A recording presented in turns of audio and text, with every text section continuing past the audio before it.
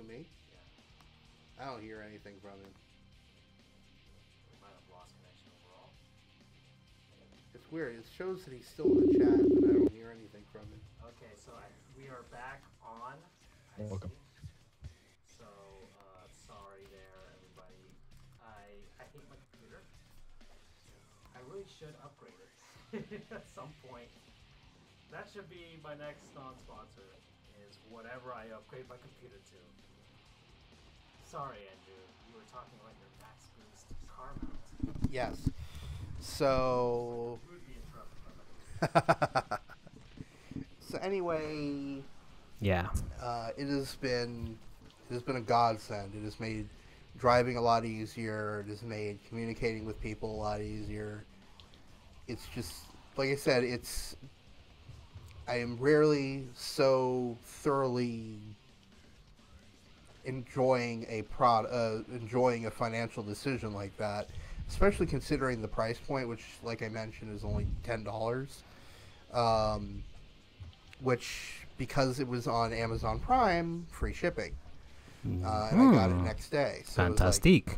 beautiful. So yes, uh, my particular thing was the Max Bo- uh, Max Boost Durahold series car phone mount.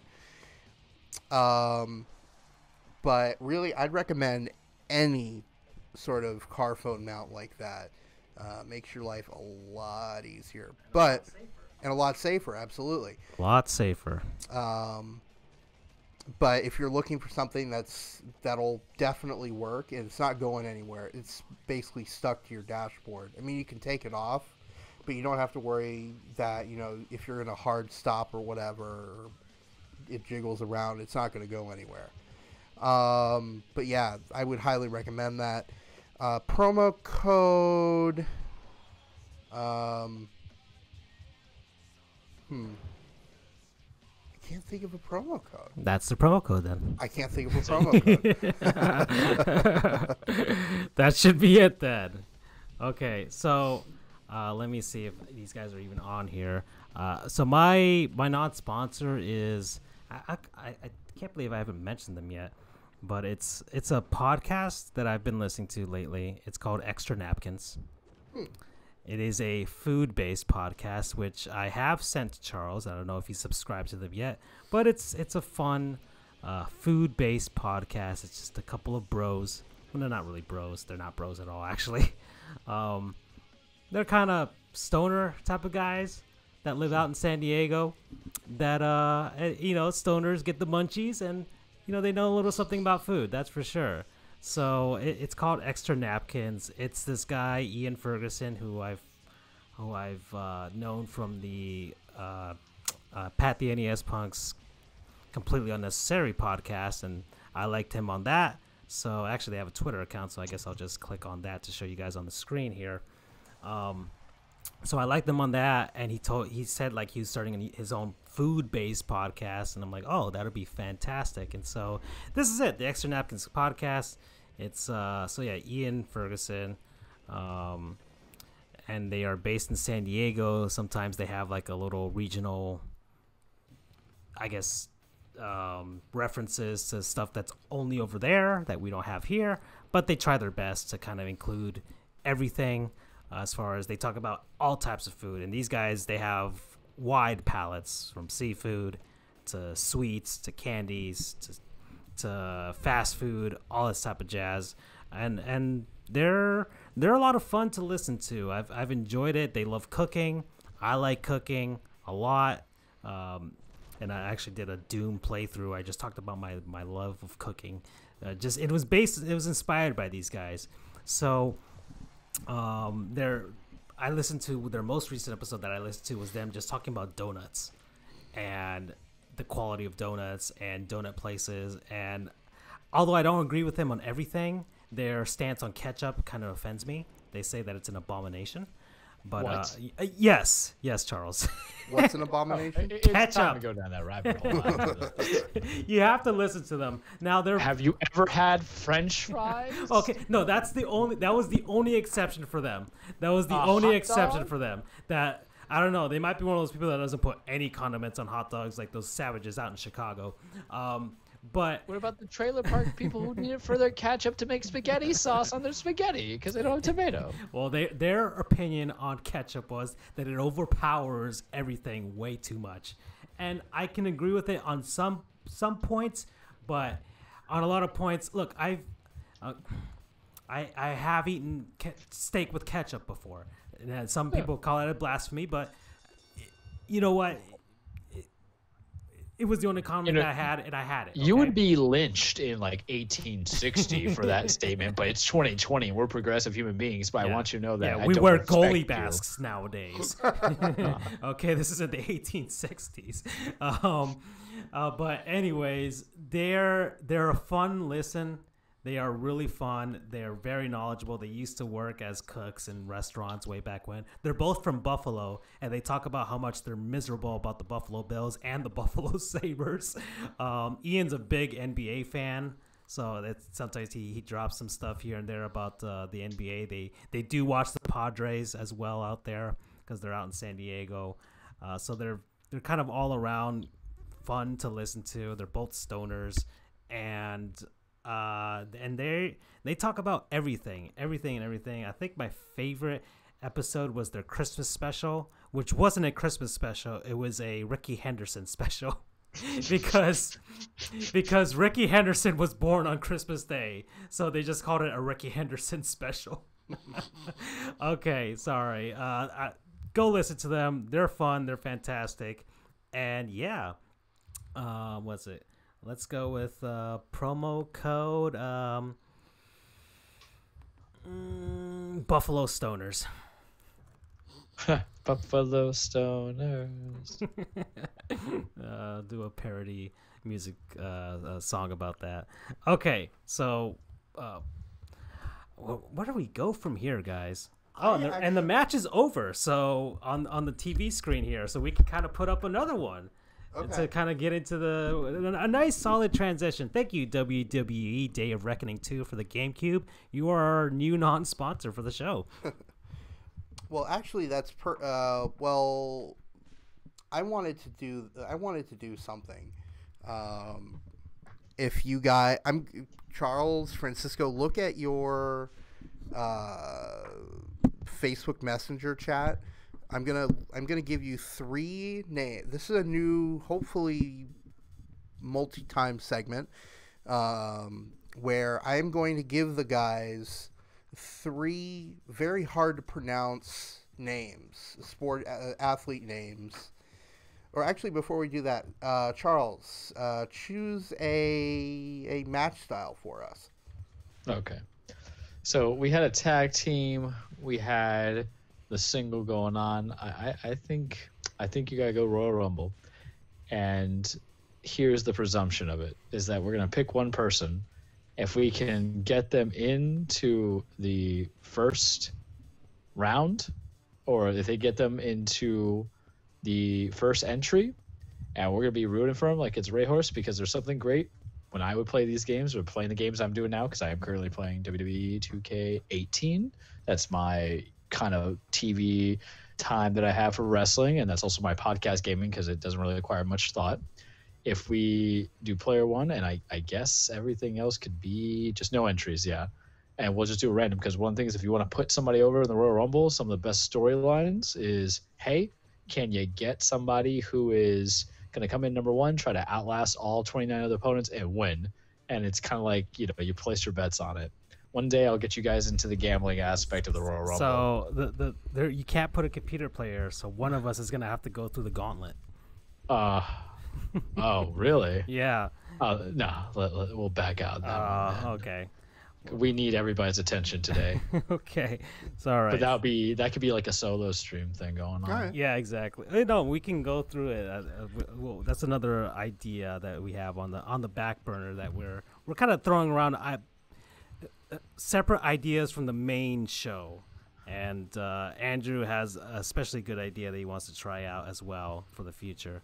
All right, so we got triple threat tag team fatal four way handicap. Let's do a triple threat. All right. We'll make it a triple threat now. That's where the fun begins because Okay. you think everything's to be won, and then some a hole just steals your victory and just sitting there crying. Okay, and uh, Andrew, what what should we do here for this TLC match, table match, ladder match. I think match. you got to go TLC. Definitely it's better TLC. than a, it's better than a ladder match. It's better than a table match, and it's better than a well, they don't have it, but a chair match. Okay, so let's see. Who are our three contestants? All right. Let's see. Um, TLC match doesn't have to be a blood feud. Just has to be. Let's diversify. We're gonna get a heavy. We're gonna get a technical wrestler. We're gonna get a high flyer. well, Hmm. that would mean Rey Mysterio Yeah. Big Big Show. show. and, And let's Booker see. T. Uh, I would say Booker's that um that Eddie technical Guerrero? though. Oh, Kurt Angle. Kurt Angle. Okay. Okay. Kurt Okay. Angle is your technical guy. That was a fast one. Alrighty. Oh, yeah. Let's do it. Okay, so the the object of this little mini segment is I'm going to give the guys three different athletes who have very odd looking names, and they are going to have to try and pronounce it. So, gentlemen, Did you if- send it yet? not yet. Oh, okay. So, gentlemen, if you will go to your Facebook chat, and I am going to go ahead and send the first one to you right now. Okie dokie. Okay. Um, I, I I'm waiting in in anxious And- glee. Anticipation.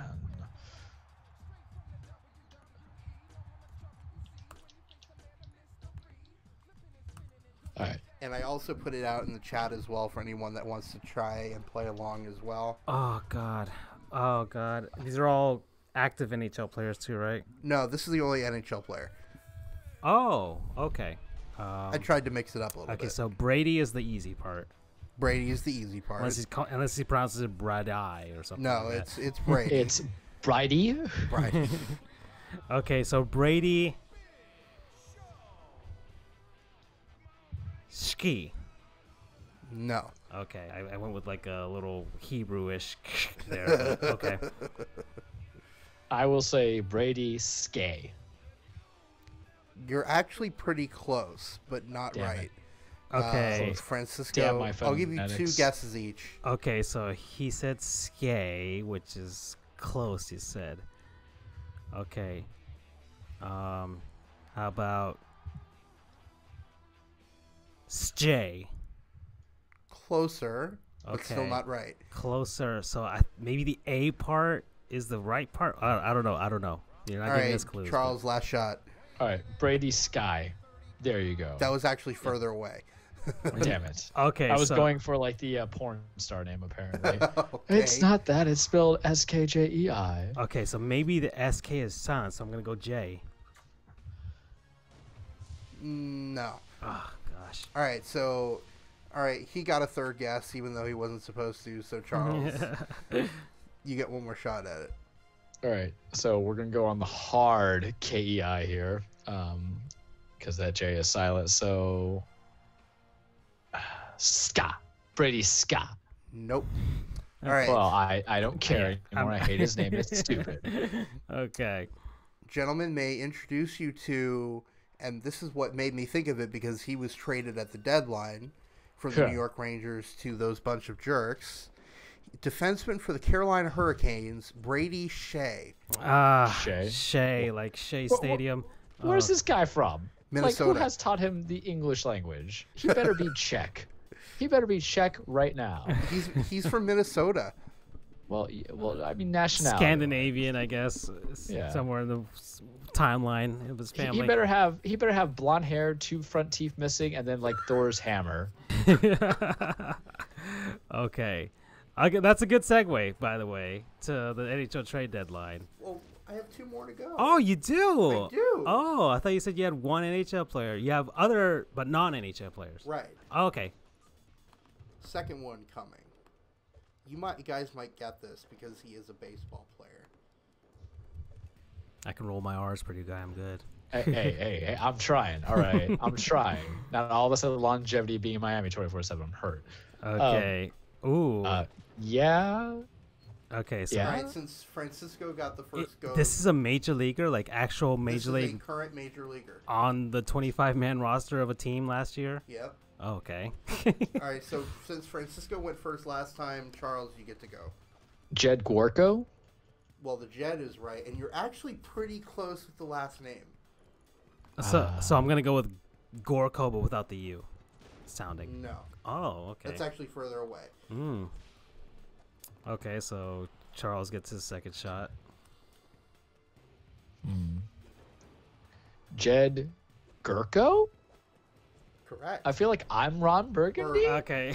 actually, actually, no. I'm. I apologize. Well, first off, I miss. I misspelled it. Here, let Oh me my send the oh gosh. correct spelling. Yeah. You're, so you're taking away my gold star? How Oh. Okay. dare- oh. Okay, so Giorko. Nope. Oh. So it. Okay, so. Charles, your Correct. last guess was very close. Um, I mean, Jed Yurko. I, I I- I don't know how pho- I don't know That, phonetically that Y anymore. has now thrown me off completely. Yeah, we're just sitting here, bunch of dudes, trying to figure out how to pronounce Gorko's name. His name Um, is. This, uh, ladies and gentlemen, may introduce you to Milwaukee Brewers third baseman Jedd Gyorko. oh Ju- gosh, oh darn my- it! Now that I oh hear it saying, God. I now re- okay, okay. Could you let's interrupt here? Could you imagine the bullying this guy got from elementary Oh, to middle school to high school and the evolution of each situation? And I absolutely live for it, gentlemen. Actually, I, ju- I, I just heard myself uh, like in the reverb in my ear, and I actually sounded pretty cool saying that. So I'm just gonna sound uh, say it again because I sounded cool. Now batting for the Milwaukee Brewers, third baseman Jedd Gyorko. Okay. Uh, do you think if he hits a home run, he just grabs his crotch and goes jerk on there? I'll take being fined for it because it was prompt. All right, last one. What the fuck? oh my goodness gracious! He sounds. Like... I didn't know it was from Skyrim or create a character. here. Yeah, exactly. a Frenchman. In case you're interested, he's South African. Okay. Is he a soccer This is player? th- th- He's a is professional golfer. oh okay. Yeah, I'm not even gonna. well, well, Francisco, you you take a stab at this one. Oh gosh. Okay. Um. Okay. Oh gosh, darn it. Okay, so the first name, because uh, now I'm tripping on the freaking first name because I'm like, is it Luis or Louis or Louis? that's one. There could be So- three ways to pronounce that name, This is your hard one because and that's just the first name. because you have an issue with the first name as well. Like, okay, well, I'm gonna take my first stab at the first name, and then my second stab will be at the last name. so I'm gonna go with because I see some H U I on that, and it would be really fun to say Louis Oosthuizen, because then it'd be like ooey ooey. So I'm gonna go with Louis as the Ooh-wee, first name. ooh-wee. Louis is the first name. Oh, okay, so you see, that's a fun way to say that name if that's the way that Louise Uis this, and I don't know. Well, you completely butchered the last name. Okay. But don't worry, you're not the first person to do so. Charles? All right. Louis Oostien. Close. Yeah? Close-ish. Yeah, this is killing me. Do you guys want to give up? Oh my god, this No, is no, worse than better know a college team or whatever. Sheesh. I, I, I just feel like all these years, all the classes we had to take for any kind of speech, you know, trial ad, all that stuff means nothing because I don't know how to pronounce some South African golfer's name and now I hate myself.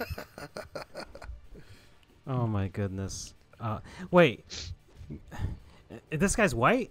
Yes. Oh gosh. Oh, he's got one of those. this, he's got one of those weird Dutch names, I guess, right? Correct. Oh god. Oh boy. Let me know if you want to Uh, give up. Okay, so okay uh, now okay now I'm getting I'm because like I'm like okay is it African African or European? Like, how African, African is it? Where is he on the spectrum of skin Blame color? the Dutch. Yes, So he's a be. that white guy. deceiving, buddy. Exactly, BU. Blame the Dutch, indeed. Uh, just like Austin Powers' father. Uh, Stupid swamp Germans. um. Okay. Uh. So, Dutch. Uthuzen. Not bad. It's pretty Okay. close. All right. All right. Louis Oostin. That's it. No. That's what I got for you. All Dang right, it. so I'll go ahead and just give it to you guys. Uh, Louis Oosthuizen. What? Damn, I was Ah, close. Okay. Alrighty. Well then, this this, this has been the first. this is a great opening for this segment, huh, Andrew? You are having a ball. Just making us suffer. Uh, it's- Look it's a lot of fun for uncultured. BT Dubs. Even though we put ketchup on anything more than fries. Uh, yeah. oh boy. All right, so trade deadline, I guess. Yeah. This has been the NHL episode. Well, I we missed the NBA trade deadline last week, but whatever. Um, Who cares? yeah, yeah, who cares? Uh, anyways, NHL trade deadline did come to pass, and I'm a Florida Panthers fan. Uh, Meaning, I suffer many, many, many, many nights. surely. Um, okay. Uh, Charles, you actually brought this up in the chat, and I was very proud of you for, for bringing that up. Uh, that we did trade Vincent Trocheck uh, to the Carolina Hurricanes, so he has become a jerk himself. You had actually predicted the Vincent Trocheck trade Well, okay. when we were chatting a couple of weeks ago. Right. So, a lot of, I, I would say a lot of Panthers fans aren't upset about this trade. They're not sad. They're sad about it, but they're not upset about it. And a lot of the hockey world outside of Florida's fan base believes that we're a loser in this trade, and maybe we are. But the Panthers have put themselves in this position. But that's a whole other thing that I I won't have time to get to because I can rant for God knows how long about it. Vincent Trocheck was very promising when he came out. He's he's from Pittsburgh. He's he was um, very promising uh, coming up, and he had his breakout season probably about maybe now three seasons ago now, where he scored 75 points, which is the most he's had in his career. So it looked like that he was coming into his own as a legit second line center in the league. And guess who just won the match? Rey Mysterio. You see, that's the beauty of storytelling. oh boy. Look at that. Well then, that was actually really fun to set up. I love it. Charles. That was uh this is really pretty look this is great. And how much how know- much how much money is in there? 310 bucks. All that for 310 bucks. um okay, so and we can set up something new here as well while we're while we- we're about to transition into this NHL talk. I'm actually gonna play one. Oh, really? Okay. So I will continue this. So Vincent Trocheck had his breakout season, but unfortunately, he had a very significant ankle injury that looked a lot. It, it was bad. It was really bad, but it could have been worse when he he kind of just slammed himself into the boards and just destroyed his ankle. And he came back that same season to try and get the Panthers in the playoff push. It wasn't enough, but it was very surprising that he even came back to play. And he is who I consider a heart and soul type of player. One of those guys that you you need to have on your team. One of those glue guys that he's he's not the biggest of players, but gosh darn it, he plays freaking hard and he cares.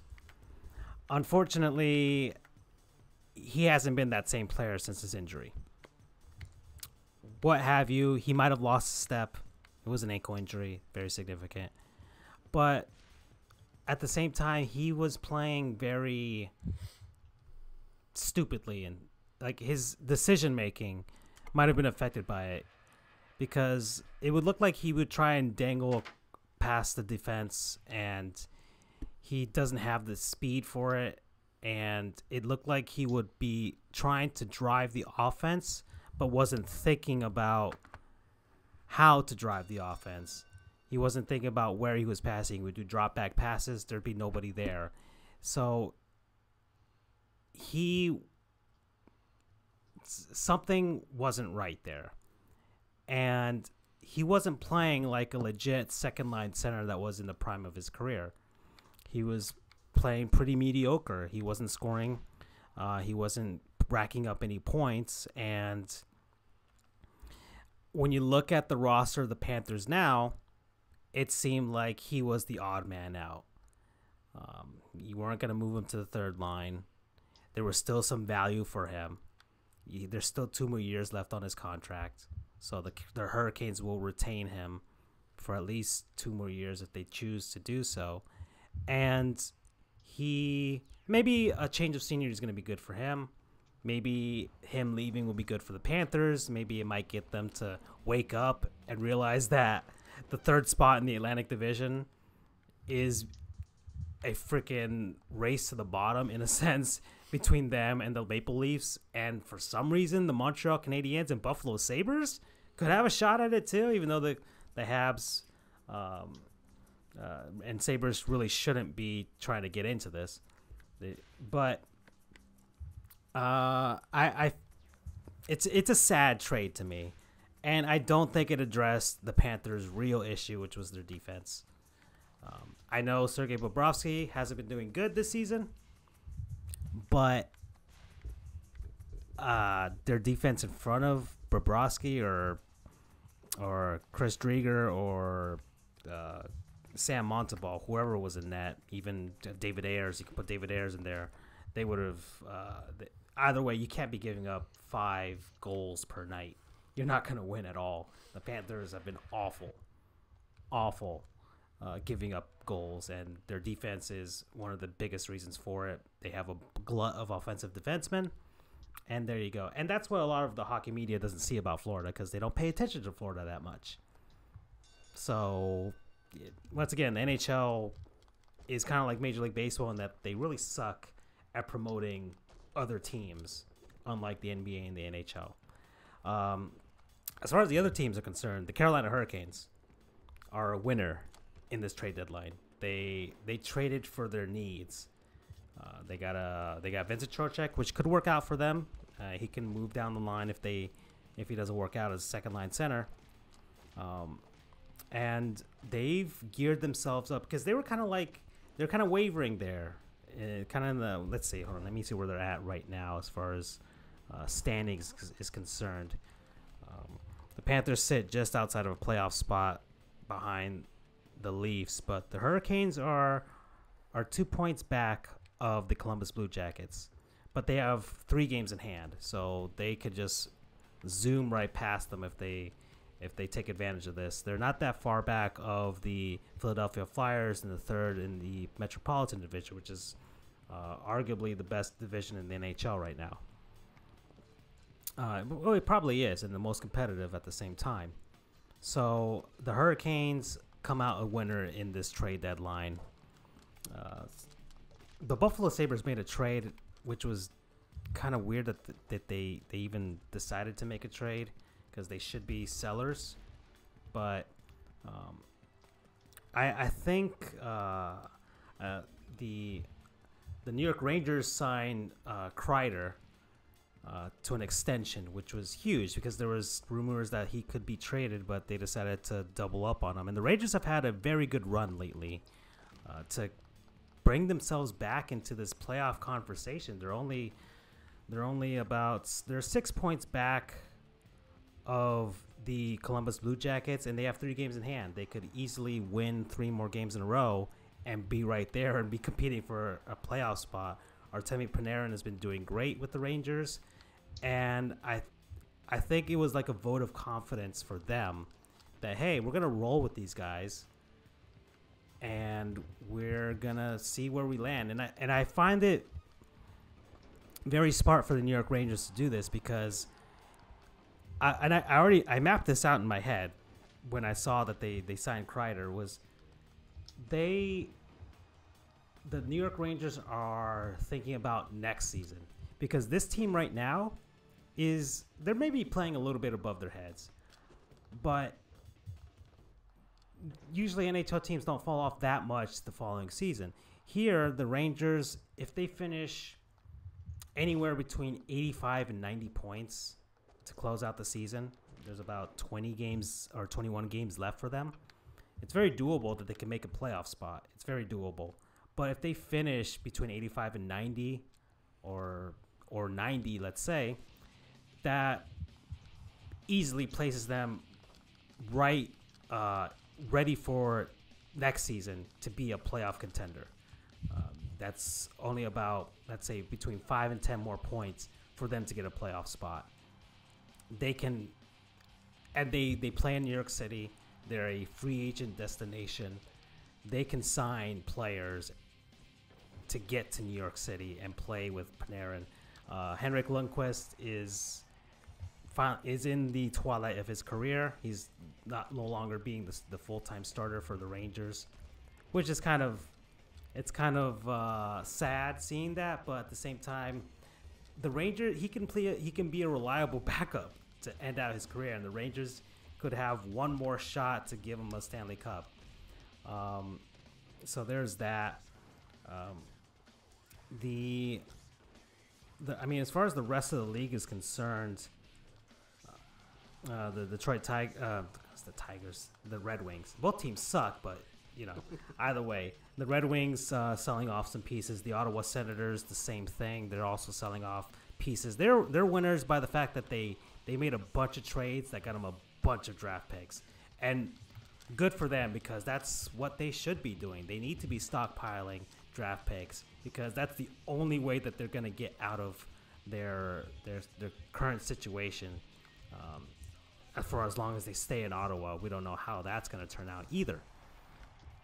Um, and the Vegas Golden Knights also making. Uh, I, I, would say they're also a winner here. They've they've aligned themselves now because they they are one of the hottest teams in the league alongside the Tampa Bay Lightning. The Golden Knights are are running on all cylinders at this point. They fired their coach, and it and Peter DeBoer's there. They've made a trade here at the trade deadline, and now they're they're they're going for it again.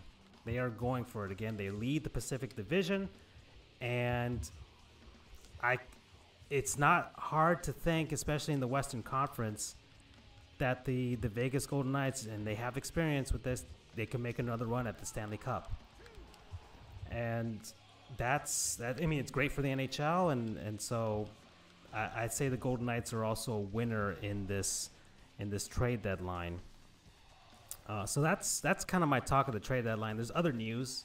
Uh, the the Carolina Hurricanes are getting a Stadium Series game next season.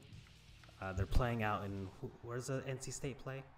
Uh, what's their stadium called? It. Come on, you're a college football dude. I think it's in Raleigh. Well, it is in Raleigh. They play next door to the Hurricanes, and the Hurricanes share with the basketball team. Uh, what is their stadium called?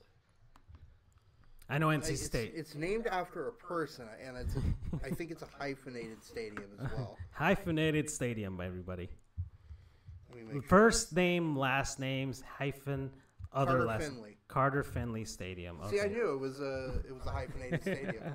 okay, they're they're going to be playing out there for their their Stadium Series match. I, I don't think they've named an opponent yet, but I'm not sure. The other news is that, uh, and it was kind of fun how the NHL announced this.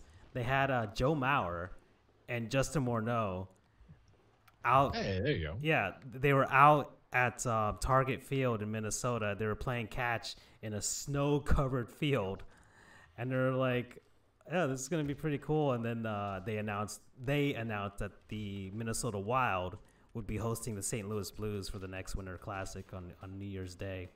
So that's pretty cool. So Minnesota is getting their second outdoor game, and they're getting the Winter Classic, the premier outdoor game. So that's that's a pretty cool thing. We'll we'll see if this if the Wild will do North Stars esque uniforms. That'll be pretty cool and um, hmm, and it's a 1987 World Series rematch between the Minnesota Twins and the St. Louis Cardinals.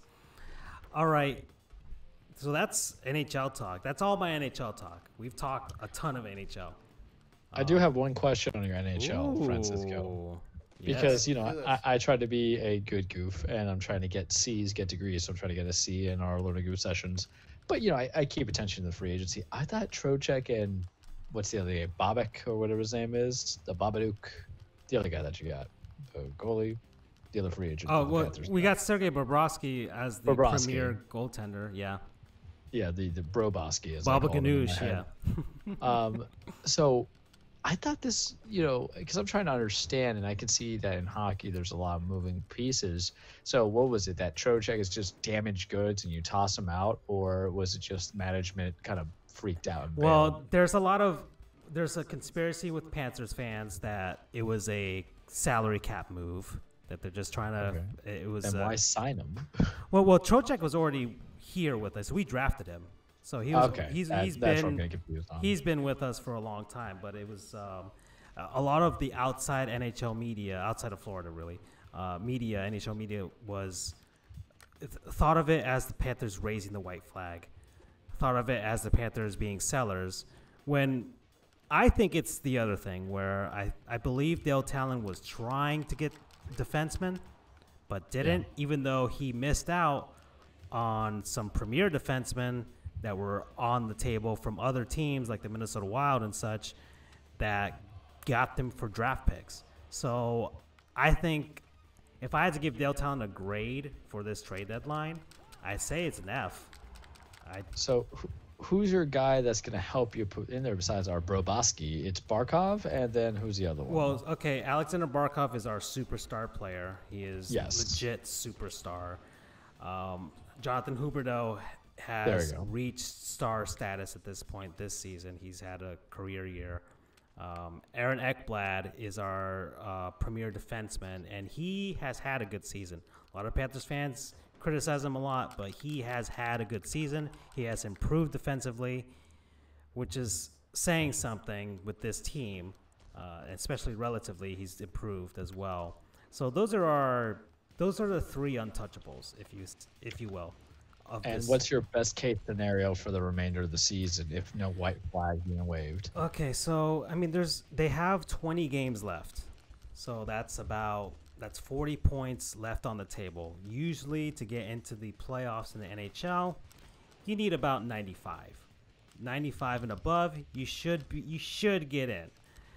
The Panthers, uh, between the Panthers and the Maple Leafs, 95 might be the max that these guys could get. They've been playing. Both teams have been awful. I mean, the freaking Flyers. I mean, the, the, the Leafs lost to a, a Zamboni driver, so uh, they're not going to hear the end of that one. The Panthers have squandered opportunity after opportunity. I don't know what's going to happen. The Leafs have elite talent, but they're going to have a lot of cap issues in the future. The Panthers have cap issues now, and their defense sucks, and they don't even know how to move those guys.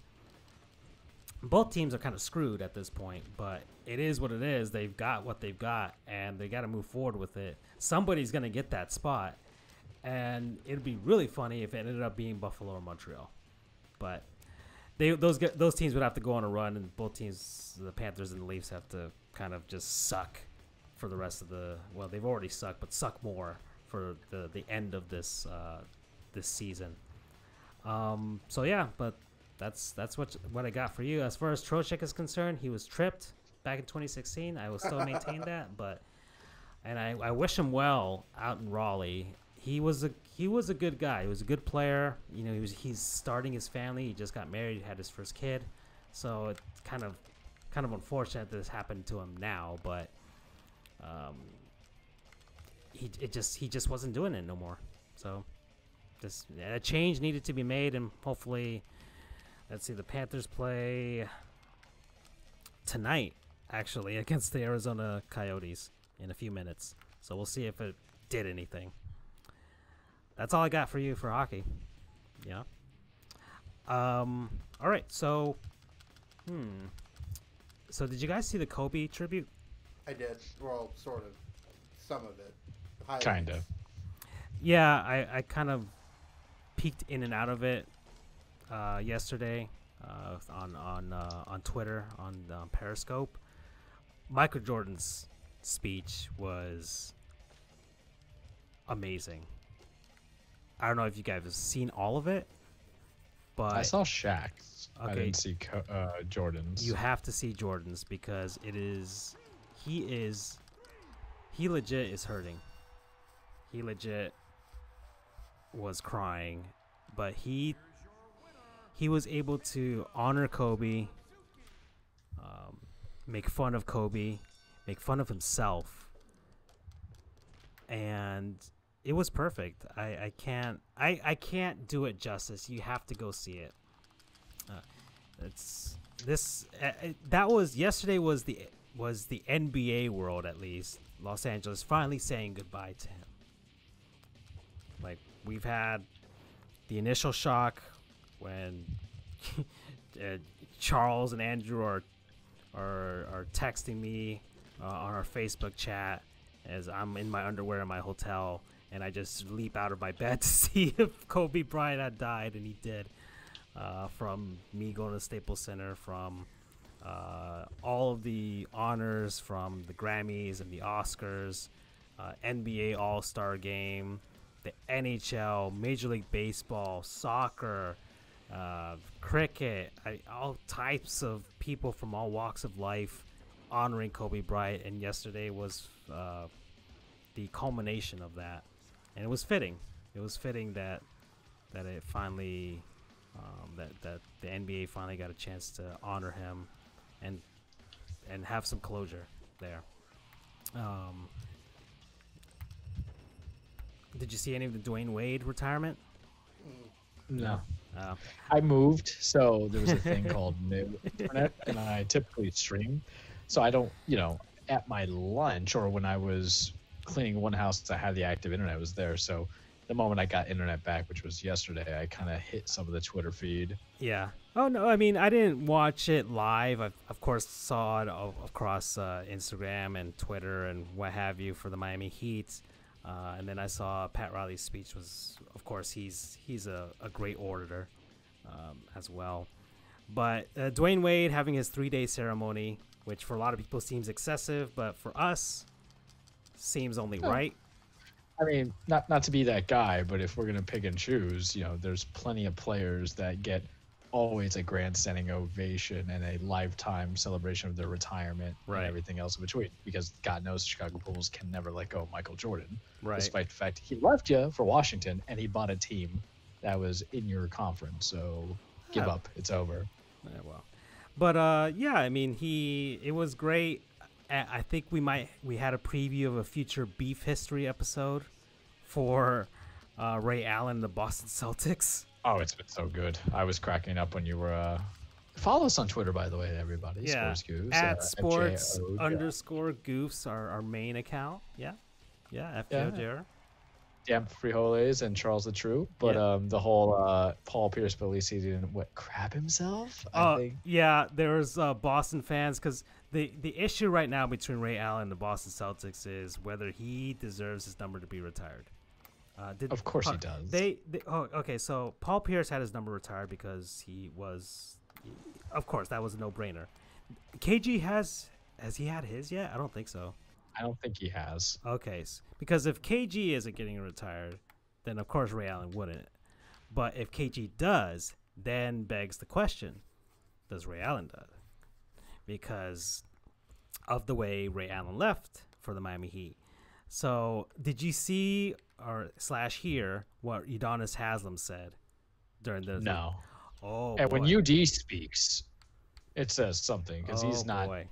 he's not the craziest guy these days. U- Udonis Haslem is is ready to throw down with the Boston Celtics in retirement with this beef between the Celtics and Ray Allen. Celtics still being pissed off and petty that he left for the Miami Heat, uh, a better team than they were. Uh, of course, the Celtics didn't want him at that point. They were they were about to trade him, so I don't know what the deal is. You know. Uh, in any case, Udonis Haslem was like, "Yeah, you know, I'm, you, you know, Dwyane's retired, Chris Bosh is retired, Ray Allen's retired. You know, Udonis Haslem was at the end of his career, and uh, yeah, they're they're ready to throw down on the streets against the Boston Celtics if if ever so such a situation were to happen. So that was really me some UD. yeah, and and Ray Allen didn't really like quell the uh, the, the the the sentiments of of uh, Udonis Haslem there. He was kind of like going along with it. So, you know, and Ray Allen has made his home down here in Miami now. So he has retired to Miami. He, he has not uh, gone back to Boston. So we'll see. We'll see how this beef moves along. Let- Let's touch on that for two seconds because I think we can. How are you, as Celtics fans, gonna say, "Oh, you can retire um, Paul Pierce's number. You may be able to retire retire Garnett, but you're not gonna do it for Ray." When your GM, your savior, and I do a quotation marks because I like the Celtics and what they're doing, but they're not really gonna get past the second round. Trade away Paul Pierce and trade away Kevin Garnett. I mean, granted, it worked out well for their boom, but where's your loyalty? So, if your if your organization conducted a business, then why can't you respect Ray Allen for conducting a business? Is it because he went against the team you couldn't really ever beat once they got together? Right. Yeah. That I mean, that's it. That's exactly it. I mean, so hold on. I'm looking at Kevin Garnett's career here. So he spent six seasons, 396 games with the Boston Celtics. That's, I mean, and his last season, six seasons. I mean, nowadays with free agency, that's that's kind of a lot. But let's take a look at Ray Allen. So Ray Allen, who is the first one that shows up here on Basketball Reference. Are they also mad that Ray has more Ray Allen's rings than Kevin Garnett and uh, Paul Pierce? He's got the two. So yeah, and once and again, he actually contributed. and he was able to hold his bowels. So yeah, he showed his yeah. Paul Poo Poo Pierce, yeah, ladies and gentlemen. Once again, yeah, Paul Pierce couldn't hold it in. All right, Poo Poo Pierce. Roberto Yeah, Luongo, as Andrew and I have covered last week, Roberto Luongo was able to get off the ice, take all of his goalie gear off, and was able to poop during a game, and made it to the toilet in time. Okay, uh, Ray Allen, who just has shorts, and I don't know if he goes commando or not, but he has maybe at most two lines of clothing, couldn't make it to a toilet.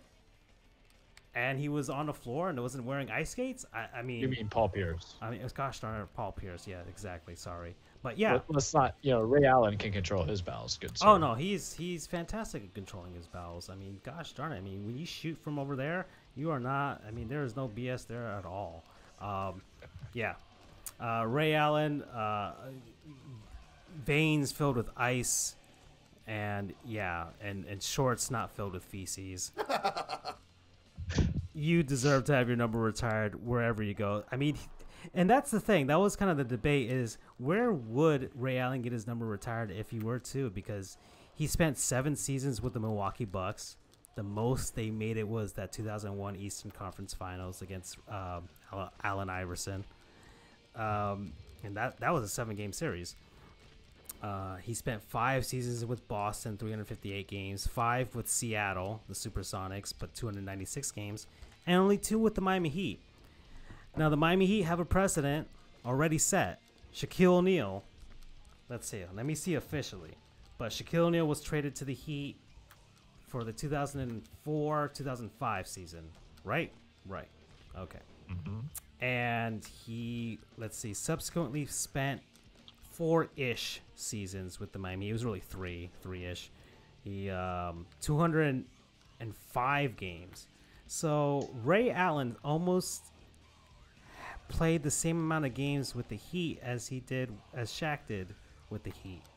And Shaq has his number retired with the Miami Heat.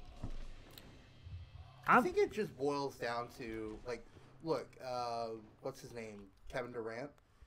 okay. He got his number retired, and he played what three seasons? Wait, Kevin Durant? Yeah, He's Did still he have playing. his- no, but with Yeah. sorry with Golden State. Oklahoma.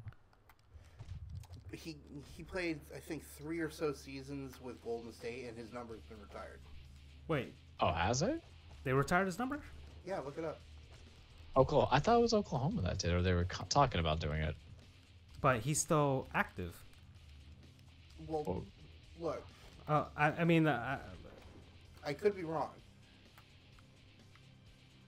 Or they or they they vis- verbally already say that his number is basically retired. probably that. I mean, I don't, I don't know. remember. I mean, I just know that I. I mean, it could be out of circulation, meaning they will retire it anyways. I think that's what it might be. But either. Hold on, Kevin Durant. Uh, okay, yeah. They will retire it. You are right. like he was there for three years, but Two-time won two MVP. championships in those three years. But So I think it. I think for short-term guys like that, I think it's their championship impact. well, And Paul it makes sense. This is a Pat Riley thing, though, because you guys got to understand something. Pat Riley always is trying to get that that white whale to come in in the free agency. You're saying we reward winners with their legacy, contribute to this team. You could be a mid-season trade and probably get your number retired. Chris Birdman Andersen and his kitty porn on his hard drive overseas is probably gonna get his number retired. That's a controversy that we could talk Oh, about one day. Oh yeah, that, that Pat's like I don't care. Um, let it be Ray. Yeah. Let us do it. Yeah, I, I can see that. I mean, and of course, there's the ultimate Ray Bourque, who got his number retired by the Colorado Avalanche. For, was he wasn't even there for a full season. Exactly. So there's that. Uh, I guess the NBA. We'll see what the Raptors do, because I can see them retiring Kawhi, just for that one season alone. Okay. I mean, they, they should just name a city after him. Go Um, ahead. So, and that this is a perfect transition because Andrew has just had a victory with Rey Mysterio. We shall head on off to the cage Whew. What a what a special cage it's gonna be. All right, let's get that graphic going. Let me go and. Uh, how do we want to do this? Welcome everybody to the cage with Charles, your weekly TruePlex. Full disclaimer: wrestling is not fake. It is scripted. It's a story of many things. It is a dance. It is a ballet. Granted, I think it was Billy Graham who said he didn't believe in that, but I don't care what Billy Graham says because he's just roided out old man. You know, it's a story about men. Uh, not that superstar Billy Graham. There was a wrestler name to it. I'll, I'll Oh, give that to you on like a back when it was the WWWF. Don't worry, I got a history lesson I can do All for you guys. Not on him today though. Um, not on him. Not not today for him because there's other things we talk about. But as I always say, wrestling could be about many things: chasing championships, David versus Goliath, the love of man, the love of woman, just purely beating the holy crap out of each other. And you guys, we're gonna start this off by what I always kind of mention here is that um, it is Ric Flair's birthday. Let us all Ooh, praise the today's his birthday. He's 71 years old, and I'm very happy that he's around because I remember when he had that incident a couple of years ago uh, that he was nearly gonna die. It was near my birthday time, and I think it would have killed me to have Ric Flair, the man who associates an iconicness of wrestling for NWA. National Wrestling Alliance, WCW, World Championship Wrestling, and the WWE slash WWF to go around my birthday time. So, Rick, I'm glad you're not dead, and I'm glad you have birthday. I'm glad that you get to do 71. You have imparted many legacies here, aside from being loved everywhere, regionally, nationally, internationally. You also are pretty good at getting people to convince themselves to buy Sabor hummus. You have produced a child in wrestling named Charlotte Flair, who is now set to challenge Rhea Ripley for the NXT Women's Championship because it's WrestleMania season, and you know what that means—a lot of sign pointing. She was also the winner of Royal Rumble. You got people who just, you know, walk and talk like you. You kiss stealing, uh, you know, limousine riding, jet flying, wheeling dealing, son of a gun. You know, the guy would give the most intense promos. I remember studying for the bar exam. I have like a highlight going on in the background Oh. right now. Oh, I was watching that earlier today with the guys at work, and I was cracking up because Ric Flair is known for the woo, and he's noticed for his best fat, you know, catchphrases. To be the man, you got to beat the man. He's known for his figure four leg lock. The man is known to have 16 recognized world championships amongst the WWF from his time with WWF, WWE, WCW, NWA. Rick was great at being a fantastic loser because he could hype you up in his promos, give you a good match. You want to see some stuff? Go watch him versus Ricky Dragon Steamboat in their WCW days for the U.S. Championship, Heavyweight Championships. It was fantastic. His match, even his old age, you can put on a good match. His match with Shawn Michaels and his retirement match was great. He even had a weird match on Cyber Sunday versus Triple H for the Intercontinental Championship and just killed it. I'm like, what the hell? You're still going at Rick? I have a pop of him in my office, and it offends a lot of people at work. And I really don't care because they know they know that. And then you know, side story, there was a like an Employee of the Year uh, competition, in which I was nominated in, and I came in with the Ric Flair persona. Because guys, I have the big gold belt. One of the things I purchased, uh, being a lawyer and ridiculously spending my money because I don't have wife and kids, and this is the reason why I can buy cool stuff. I have that big WCW title, and I came in with his persona in like the suit and jacket with the sunglasses. I wore my contacts that day. I was just doing four horsemen uh, hand gestures. He's known for his four horsemen stable, which has a myriad of people in there, usually Arn Anderson, Tully Blanchard, and a few other ones. Also known for being in Evolution with Randy Orton, Randy Orton, Batista, and Triple H. And now he's just kind of there, sounding like, uh, you know, Lee Corso's other drunk brother, because Rick's a little up there in age. He's gotten married like four or five times and when I was studying for the bar exam, I watched two kind of promos to get me hyped in the final two weeks. Good luck to everybody taking the Florida bar uh, this week. And it was his promos and it was the Macho Man Randy Savage promos because I need that intensity sometimes. So that's my big diatribe or, uh, you know, soapbox for Ric Flair.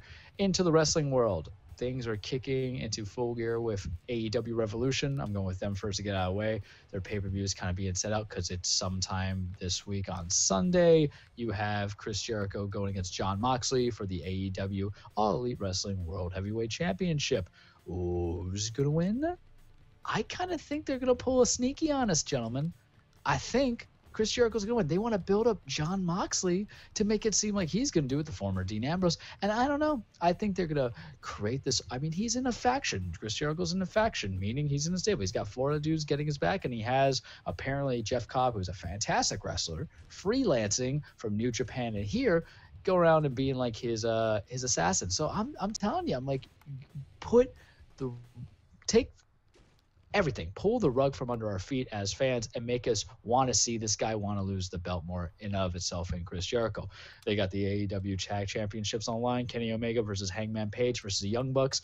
These four guys are like best friends in real not in real life. Three of them are the vice presidents of All Elite Wrestling in real life, and the story is about destroying their little club that they have called the Elite. Uh, it's something that had propelled them when they were in Ring of Honor and New Japan. It's something that's propelling them now and it's old classic storytelling where Hangman Page is either going to go full heel and betray Kenny Omega if they lose the titles, or or you have them retain their championships and tell the Young Bucks, you guys can go buck yourself because we are the true champions here.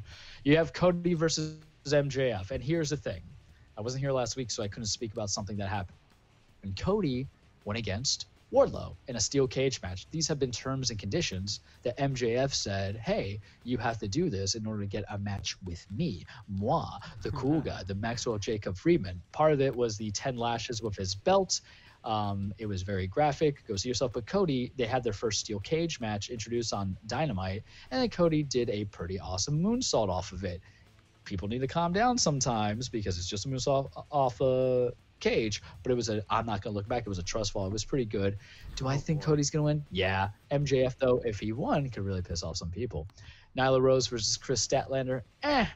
Eh. AEW's women's division is not too good yet. They need the roster. And then Dustin Rhodes, the former Gold Dust, is going against Jake Hager, the former Jack Swagger, we the people from WWE. That's Revolution. Why? Because we're not just getting one pay per view this week, gentlemen. We got another one. That's right. We got the uh, the Blood Money pay per view in Saudi Arabia, Super oh, Showdown. God. Yeah, I was looking and, here on the tw- on the tweets here, and so, you know some AEW fans are like, yeah, or wrestling fans are like, I'd rather watch the AEW Revolution than the Blood Money that's going on over there. But yeah. Well, I agree, and it's not because of political preferences, and it's not even because of I like AEW more than WWE. AEW still needs to impress me. It's just the card really isn't there, you guys. There's a lot of no nonsense matches going on, and there's also the fear. The fear of something's gonna happen that's supremely gonna anger a lot of people. Me and my buddy have money on it, and this is the gist for the Universal Championship because what does the Saudi Arabia crowd like, or anybody really? You like the old school draws. You have the Fiend Bray Wyatt, which you guys know was my lifeblood in 2019, aside from mm-hmm. Kofi Mania, kicking into full gear. He's defending his Universal Championship against who, you ask? Is it Roman Reigns? Nah. Is it John Cena? Nah. It's against Goldberg. That's right. Goldberg. You see how excited you are because you guys don't know wrestling? Goldberg was I'm, this I'm monster of a beast in WCW. That's cool to see. All right, we got this Goldberg back You see? again.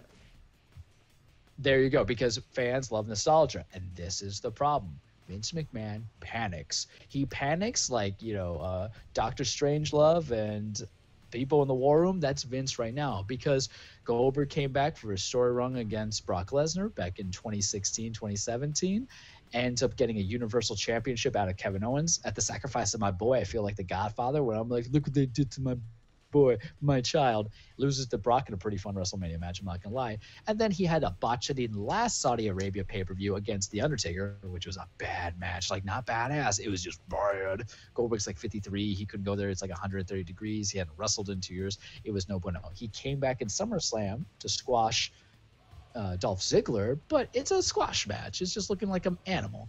But now I'm scared because now I'm thinking that this this this character of the Fiend, whom I've loved, because you get duality. You get Daniel Bryan, or not Daniel Bryan, you get Daniel Bryan being a victim of the Bray Wyatt, but you get Bray Wyatt coming in with a Firefly Funhouse, looking like Mister Rogers, uh, you know, disciple of evil, and then he turns into this little demonic thing or devil thing, whatever the hell you want to call it these days. I wouldn't even know how to explain it. Only Bray does against Goldberg, who's this unstoppable kick-ass machine from his run in WCW of going like 198 and 0 and who they met on SmackDown, you guys, last Friday, and the Fiend just speared, got speared by Goldberg, and then the lights went dark, and the Fiend disappeared. So you're like, oh no, is Vince gonna do it? Because with the with the monster like the Fiend, you don't really get the type of wrestling that some people might see, the technical wrestling. Mind you, go watch Daniel Bryan versus the Fiend in the strap match in Royal Rumble. You'll thank me for it. I'll send you guys highlights or anybody else listen there. But is he going to do it? Because my concern, this is what I got money on, I don't think the Fiend's going to win. I want him to win, but I think Vince is going to twitch out, freak out, put the strap on Goldberg, and have Goldberg go against Roman Reigns at WrestleMania, and then become Spear City, and it's going to be Oh, be terrible. amazing. Oh, but it's gonna be so bad. It's gonna be so bad because the, the natural storyline for Roman is that he had leukemia, relinquished his title, and got it back. Other matches, Brock Lesnar versus Ricochet, they're doing pretty good with it, but we know this is a real throwaway match. But this is your David Goliath. He's gonna make Ricochet look a little good, and then he's gonna destroy him at the end. To which Drew McIntyre comes out and says, "Hey, I'm gonna kick your head off because that's what we've been doing." Tag team championship, Seth Rollins and Murphy, who was used to be Buddy Murphy last week, but Vince has this weird thing of getting rid of people's names. Like, mind you, the name Buddy really doesn't really strike me as intimidating thing because you Right. kind of look like a uh, a chode, for Yeah. lack of a better word, when you have a name like Buddy. Hey there, but he's buddy. Australian. Like we give a him pass. Fantastic name or wrestler. something. Buddy, we love you. We love you, Buddy Bird. We- Well, yeah, against the Street Profits, I actually say call the Street Profits winning just because it's going to lead to the AOP, who is part of Seth Rollins and his Monday Night Messiah faction, which I love, by the way. I just love the name of it. I'm an easily gimmick kind of guy. You know, Seth Rollins is coming in with like this fur kind of coat looking thing with a single black glove, doing the man bun and sort of things. He's looking like evil Jesus, if that's possible. He's evil wrestling Jesus. There you go. Um, New Day versus John Morrison, The Miz. Eh, eh. I love me some New Day, but I think this match kind of lost steam and that anticipation. King Corbin versus Roman Reigns, Steel Cage. Can we just be done with this feud? This stuff has been going on since like October, you guys. And they had like a Falls Count Anywhere match, so why should that be even better than a Steel Cage match? The storyline makes no sense. They're saying Burns like, hey, you couldn't beat me without your boys' help, but you had your boys there too. It should really just be a brawl for all, hit you with weapons, first blood match. Bayley versus Naomi. Okay, so we're gonna go controversy, not controversy. There are rumors because you guys know about the flight from hell that happened in the last Saudi uh, pay per view back in October. And mind you, this is all speculation. I'll state that to everybody now. It's all speculation. But they had plane issues. Well, part of the plane issues because what's the issue in Saudi Arabia? Um, you know, women and stuff like that, and women wrestling, and it, it caused a lot of problems. That's the rumor. Is this going to happen again? Because it really pissed off a lot of Uh, the actual wrestlers. Yeah, I, I think the, the the scare now is the freaking virus at this point. Sheesh. That too. Well, Yeah. that too. You know, so yeah, I mean, and that's going to affect their international stuff. There's a lot of stuff going on, but you know, is this going to bother the actual employees of the WWE if you have another fiasco like that because of different ideologies, beliefs? I don't know. I'm not touching that with a 10 foot pole, a 10 a 10,000 foot pole. But what I'm saying is that there's competition now out there. Are these free agents who are like they want to view how they're being treated by their employer versus other players because it's no longer just an isolated tyrannical monopoly that is Vince, Vincent Kennedy McMahon. And then last but not least, the Tuwaiq trophy gauntlet match. This serves no purpose. There's been kind of like put in some stuff. Their storylines are not coming in there. It's gonna be Rey Mysterio versus R-Truth versus AJ Styles versus Andrade versus Eric and Bobby Lashley. It's probably gonna go to Rey Mysterio because everybody else kind of has their own thing going on. Andrade is the U.S. champ. Rowan just got beat by Aleister Black in the second time. AJ Styles is going to be feuding with Aleister Black. And let me tell you guys something that's a wrestling wet dream right there. And I'm so ready for next Monday. Bobby Lashley, maybe he wins it. He gets a payoff for, you know, the storyline of him and Rusev, where he basically marries Rusev's real life wife. Vince is kind of weird. Heyman's kind of weird. And I, I, I just say give it to Rey. You know, Rey's an old draw. We love Goldberg. We love a little bit of Rey Rey. He's not my favorite wrestler because he's like 44 now and he's kind of beat up. But you like a little bit good entertainment, and that's and you know tune in Thursday, you guys. You might get some of my live little text messages to you or messages to you because it's weird to have those pay per views at 12 noontime here. Yeah. On a Thursday. I, am but is I have here are, like the schedule of stuff here. I mean, Monday was Raw. Tuesday uh, NWA Power, AEW Dark, and Impact Wrestling. Wednesday, NXT and Dynamite. Uh, and then Thursday is the Super Showdown. Friday, SmackDown, and Saturday, Revolution. So yeah. What I will say is this: one other thing, because I like, because I wasn't here last week, so I could touch upon it. The other weekend, NXT Takeover Portland, several matches great. It was a fantastic pay per view. Not a lot of matches disappointed. Uh, two highlight matches, or I'm, I'm just going to give you three of the highlight matches. You had Finn Balor versus Johnny Gargano. Fantastic. I'll give that a four. Finn Balor is kind of rejuvenating himself now with new character. He won. Spoiler alert.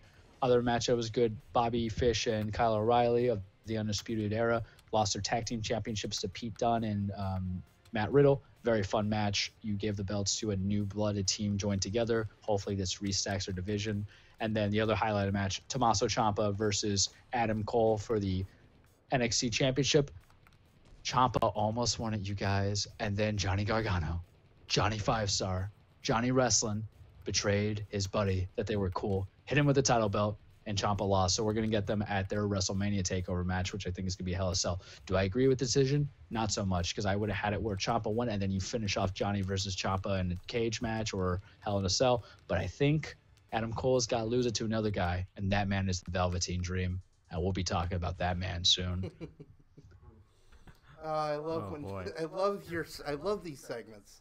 Okay. They're amazing. Yeah, that's and that's all you got. That's all I got. Alrighty. I'm so, tapping out. Okay. So uh, I think that's all we got for for today ourselves. So uh, thanks everybody. Thank you everyone. Yeah. It's always a pleasure having you. Fantastic. And that's it. So, ciao. Good night, everyone. See you later.